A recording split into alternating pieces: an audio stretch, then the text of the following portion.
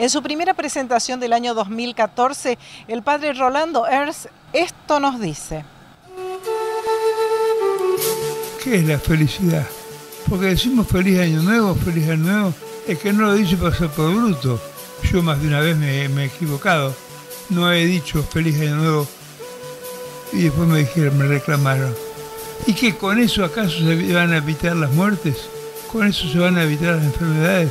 ¿Con eso, con eso? No. Mire, la felicidad está en, en recibir lo que a uno le corresponde. Nada más.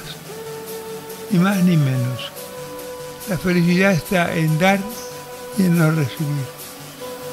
Dice Jesús, y lo cita uno de los apóstoles, creo de San Pablo. Felicidad está en dar y en no recibir. No son palabras de Jesús, pero es el pensamiento de Él, ¿no? Entonces, ¿qué he dado yo a los demás? ¿Qué doy? ¿Qué doy habitualmente a los demás? En otro momento de su reflexión semanal, el padre Rolando Ernst, aquejado de un problema en su voz, se refirió a la tradición de la celebración de San Blas y la Candelaria y entre otros conceptos dijo.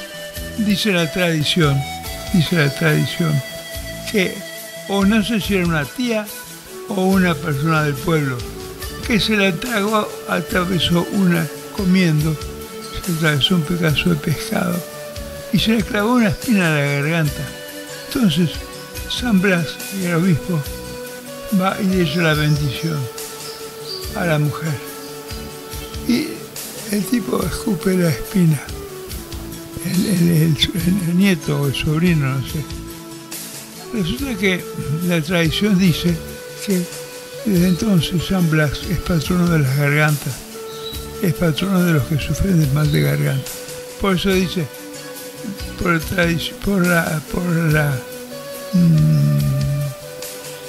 mm, intercesión de San Blas y de Mártir y Santo y de todos otros santos, te libre el Señor de todo mal de garganta y de todo otro mal, en nombre del Padre y del Hijo y del Espíritu Santo.